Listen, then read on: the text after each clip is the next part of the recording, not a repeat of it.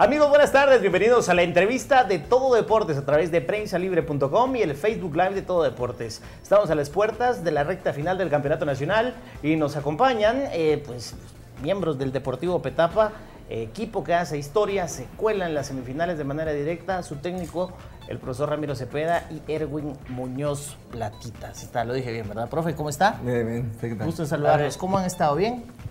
Muy bien, muy bien. La verdad que contento el día posterior, disfrutando, descansando y ya mañana pensando en lo que viene. Profe, ¿y cómo se amanece después de, de hacer historia? Porque se hizo historia. Nunca Petapa había estado en unas semifinales. Menos de manera directa. A dos puntos del equipo que terminó en primer lugar. De 11 partidos, únicamente perdió 3 en la segunda vuelta. ¿Cómo? Fuimos el equipo que más partidos ganó en todo el torneo. Ganó 10 en todo el torneo, sí. Fuimos el único equipo que ganó 10, 10 partidos. Sí, sí. Después viene Municipal con 9. Bien, la verdad que bien. Eh, contento porque costó mucho. Eh, cuando se sufre más se disfruta. Sí. Es verdad. Sí. Tuvimos momentos donde las cosas no salieron tan bien, nos costó agarrar ritmo en un momento. Tuvimos una racha entre medio del torneo donde como cinco fechas sin ganar.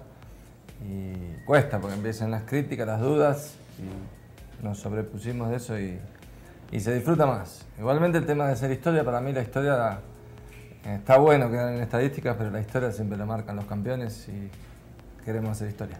Y aparte empieza un torneo nuevo, profe. La, la liguilla por el título, por muy que dos van directo a semifinales, es un torneo en donde cualquiera puede ser campeón. La diferencia es una semana de descanso quizá.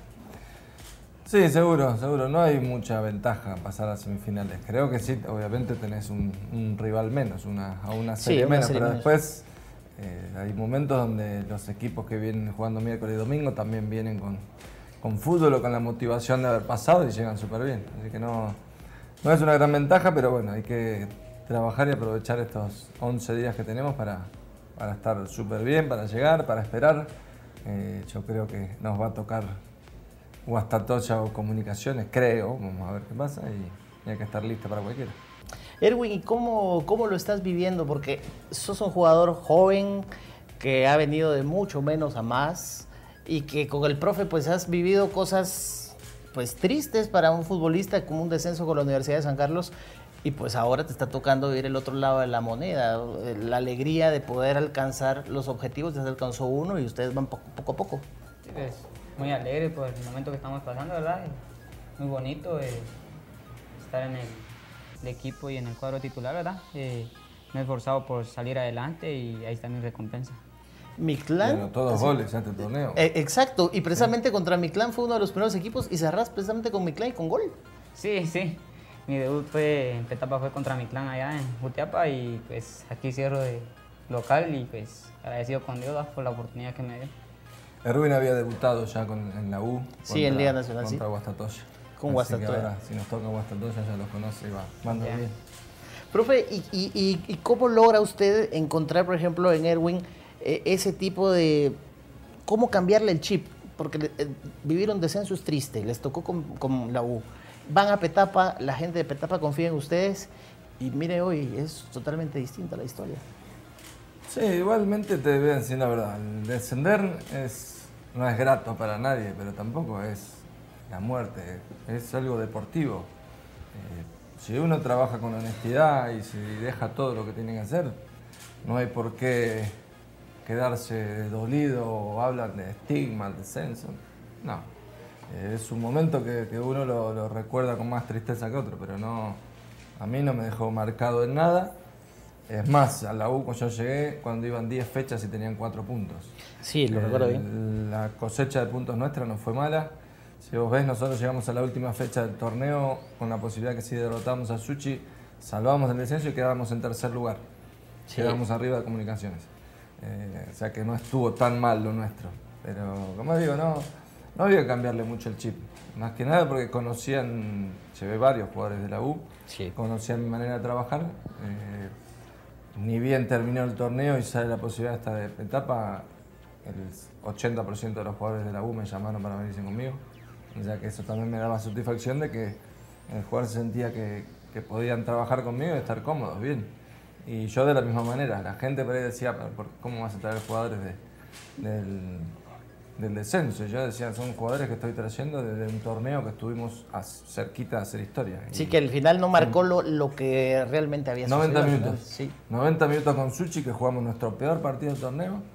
Nos marcó algo que, que, que podría haber sido diferente ese partido y hasta podríamos haber salido campeón, porque llegamos con un ritmo bárbaro.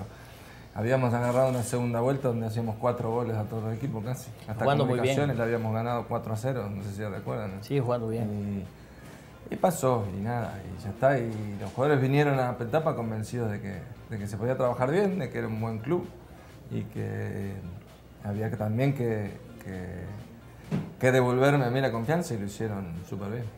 Profe, y ahora eh, fueron solamente dos puntos de diferencia con Municipal. Un Municipal que fue el equipo más regular, que tuvo muchos empates, pero igual fueron dos puntos nada más. O sea, estuvo muy cerca Petapa incluso ganar la fase de clasificación.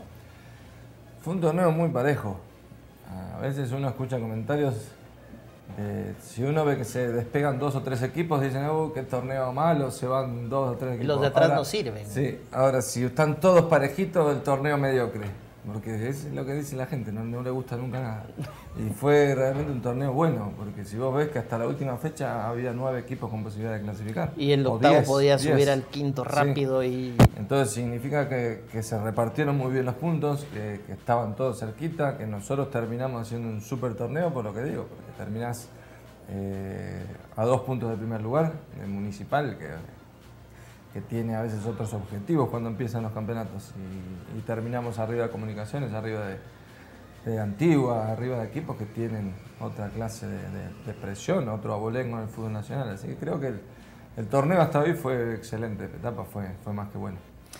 Profe, ¿les gustan las redes sociales a ustedes? Tenemos interacción con las personas a través de Facebook Live, van a tener preguntas eh, a través del Facebook Live de, Todo Deportes. Mucha gente, como cuando pasó con el Deportivo Guastatoya en su momento, Guastatoya era un equipo que venía de primera división, empezó a trabajar y así bien las cosas, y cuando llegó a la, instancia final, mucha gente dijo, bueno, vamos Guastatoya, y con Petapa está pasando lo mismo, ¿lo han sentido ustedes? Sí, lo voy a dejar platito sí, es la verdad, eh, sí, motivado todo esto, Y pues, digo, me cuesta hablar un poco, No hay pena, aquí con, confianza, no hay ningún problema. Me quedo sin palabras. ¿Así? ¿Te piden más autógrafos? ¿La gente te saludan en Petapa? ¿Cómo es tu vida en Petapa? Sí, ayer pues se me da la oportunidad de dar una firma, mi primera firma. ¿Ah, sí? ¿Tu primer autógrafo ayer? Sí, y una foto que me pidieron. Admiran mi trabajo y siento que estoy haciendo bien las cosas. ¿Y qué sentiste cuando te dijeron una foto y un autógrafo? Muy contento, o sea, ni yo me la creía de todo lo que estoy viviendo. ¿Y a qué, la, a qué le apuntás, Erwin, en, en tu carrera ahorita? Pues ahorita mi deseo es salir campeón de Petapa y pensar en más cosas grandes. Seguro. Te cuento una cosa con el tema de esa la pregunta. La gente de Petapa todavía no se ha compenetrado con el equipo. No se termina de meter. No, hemos tenido realmente un torneo raro, gente. Hay muchísimo reconocimiento de gente externa. Más lejos de Petapa. De externa al club, muchísima gente de otros equipos que están ah, diciendo, uh, buenísimo lo de ustedes, ojalá que les vaya bien, ojalá que sigan en la final, ojalá que sean, que ustedes le ganen a, a los equipos grandes. Y de Petapa todavía no, no superamos, sacando Municipal y Comunicaciones, no superamos las 500 personas. Es increíble, ojalá que... que ¿Al estadio? Sí, sí, ayer nosotros ya clasificados, haciendo algo histórico casi para el club, hace muchos años que no se clasificaba. Petapa tenía algo que es una constante, que, este era el año del descenso. Así fue. Sí, sí, apertura y clausura, Dios. Era tres años y abajo otra vez. Este era el cuarto año, entonces por eso también jodía cuando, perdón. no, no hay pena. cuando se inició como diciendo, hey, justo viene este el año nuestro, que es nuestro año de, de descenso. Entonces hay un montón de cosas que uno esperaría que la gente se volcara de manera masiva a apoyar el equipo y no. Vos sabés que tenemos 11 juegos jugados de local y en 9 tuvimos pérdida. Sí, sí, lo, sacamos nosotros en el, en el resumen que, que, no ha sido lo mejor, pero pues al, a la gente del club también se le hace un llamado al, espacio de mercadeo. En redes sociales se mueve muy bien el Deportivo Petapa, entonces una promoción para la gente, pues para invitarlo. Al final eh, hay que decirle a toda la afición que no todos los días está en semifinales, que no todos los días se está a dos partidos de llegar a la serie por el título, o sea, está ahí. Sí, seguro. Son 180 Pero minutos. esperamos que sí. La- se ha movido la gente de la municipalidad, se han tratado de, de ver cómo se motiva un poquito más a la gente. Habría que encontrarlos por qué. Me tocó dirigir en el año 2012, creo que fue Petapa, o 2011, 2012. Sí, creo que fue. que vine y, y con un torneo menor a este, porque más allá que el equipo cuando yo llegué estaba casi condenado al descenso y nosotros lo sacamos adelante, pero en un torneo con menores resultados que esto, nosotros jugamos con, no sé si 2.000, 3.000 personas, todos los partidos, era increíble. Sí, se metía mucho la Y gente. ¿verdad? sí, muchísimo. Era increíble ver el, el marco, jugamos los sábados a la noche y, se llenaba casi. Teníamos un muy buen público y ahora le hemos cambiado.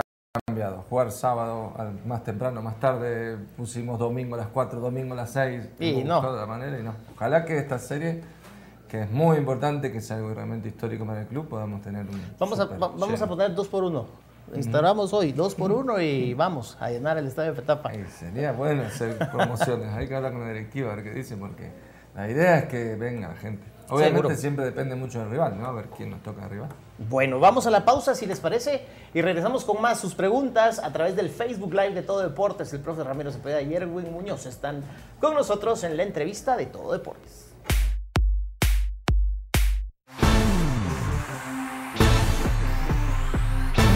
Si ignoras lo que sucede en el país, nunca serás libre. Pero si realmente quieres ser libre, lee, investiga, piensa. Infórmate a la mañana, al mediodía, en el bus. Y si no has empezado o sientes que no es para ti, entiende que ser libre no tiene edad ni condición social. Es por eso que soy prensa, soy libre. Prensa libre, un periodismo que evoluciona. Continuamos con Todo Deportes. Estamos de regreso en la entrevista de Todo Deportes. Profe, ¿le quiere mandar un saludo a la princesa que nos acompaña hoy aquí en el set? Sí, la más linda de todas, Agustina, mi hija. Agustina, un saludo para Agustina que está acá. Eh, hoy se vino con su señor padre que le prometió un helado para que viniera más rápido. Así que al salir de aquí, Agustina, un heladito. Tenemos algunos comentarios, profe, y Erwin se los comento. Dice Heriberto y Calito. Vamos, Petapa, soñamos ser campeón aquí. Te saludo desde Cobán, dice Heriberto y Calito. Alondra Barahona, muy bien por Petapa. Eh, Anthony Natareno dice, bueno, yo le voy al Madrid, dice Álvaro Hernández. Hay que seguir adelante, he estado varias veces en el estadio, pero deberían de mejorar el control en el estadio. Hay mucha gente que entra sin pagar boletos. La administración, amigo del amigo, tiene cuello y entra, pero bueno, esto perjudica al equipo, dice Álvaro Hernández. Dice Almita Mejía, vamos Petapa. Eh, Mateo Cuktuk dice pues que le va a Municipal. Eh, Bautista dice eh, el campeón será el que deje fuera a Suchi, dice, dice Gervin García Campos, qué bien por Petapa, simpatizo con el rojo y con el pecho amarillo de Guastatoya, pero qué bien por Petapa.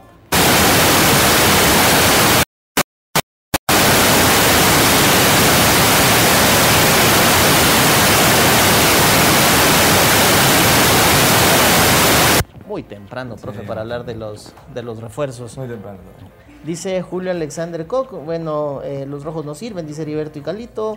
Eh, vamos, Petapa, ustedes pueden, dice Lidia Koch. ¿Qué se siente, profe Yerwin, recibir todos estos mensajes de la gente que, que está metida con el equipo? Es muy buen el trabajo que se ha hecho, que es lo más importante. Bueno, eh, todo lo que hace el- o lo que hacemos nosotros en, en el deporte, la premiación es como los actores que hablan de, de que lo más lindo para ellos es el aplauso, para nosotros el, el agradecimiento o, o las muestras de que el trabajo está bien hecho, donde uno más satisfecho se siente. Profe, y, y de los rivales que, por ejemplo, Municipal obviamente no lo podrían enfrentar, que fuera una, una hipotética final, pero de ahí los rivales, ¿qué rivales ve más fuertes, profe? Es difícil, por lo que decíamos antes de que empieza la ronda nueva y todo puede pasar. Si uno ve cómo terminaron los equipos, creería que Shela quizás es el que mejor termina. Pareciera por, Aplastante por sus últimos ese 6 a resultados, 1, sí. porque es un gol anímico muy grande para Shela que estaba antes de empezar la fecha como en décimo, once, Sí, onceavo sí. lugar. Y que ahora va a llenar el estadio, seguro. Entonces, también es un equipo que, que llega muy bien. Eh, Guastatoya venía de una racha como de cuatro partidos seguidos ganados, cinco. Sí. Y, y empata significa que llega fuerte, llega bien. Comunicaciones no llega muy bien, quizá lo último, con un par de, de, de empates, el de Carchá, el último De con Malacateco. que son puntos que por ahí se le escaparon. Y Suchi que viene también súper bien. Sacó un punto de oro el partido pero es un equipo que en 11 fechas de visitante, en 10 fechas de visitante anteriores había sacado solo 3, creo. Sí, y Walter Claverí que Eh, estudia mucho los No, es un súper técnico, Walter. Entonces es difícil decir cuál está mejor o peor. Me parece a mí que Shela hoy está un escalón arriba del, del resto, pero no tiene ventaja deportiva. Entonces eh, no, no creo que haya una serie de estas donde haya dos o tres goles de diferencia. Van a ser muy cerrados. ¿no? Y el tipo de canchas, Erwin, por ejemplo, jugar en Shela, jugar en Guastatoya, son canchas que meten mucha presión, pero el jugador, donde, eh, por ejemplo, en este caso, los jugadores de Petapa, ¿dónde lo sienten menos? ¿En, una cancha como Shela, sábado, en la noche, o en Guastatoya, por ejemplo, domingo, en la tarde, en el calor del oriente? Pues yo preferiría el frío, ¿verdad? Que siento que el calor me mata y siento que en Shela. Uno como jugador debe estar concentrado. Así decía Plata Juan Carlos cuando se le preguntaba si prefería ir a Shela a jugar. Me gusta más Shela, decía siempre, se, se corre más, es rico el, el, el frito de la noche. Sí, la verdad que sí. En cambio el calor te mata, te desgasta más. En cambio el frío lo aguanta uno mejor, ¿verdad? Pero ahí sí que concentración. Y a tu criterio, Suchitepeques o Comunicaciones, ¿quién podría pasar? Los dos son equipos duros, pero me gustaría que pasara Suchi. ¿Qué pasará Suchi? ¿Y de la otra llave, Shela, Guastatoya? Shela. Shela. Shela estaría bonito. Bueno, te- sí, Con el tema del, del clima, depende de cada equipo también. ¿no? A nosotros Sí. nos afecta mucho el calor, porque la propuesta nuestra que, que yo he inculcado desde que llegué al club era salir de visitante a jugar tanto como se juega de local, presionando bien arriba, siempre iba. con los tres delanteros, eh, nunca especular, nunca buscar el punto.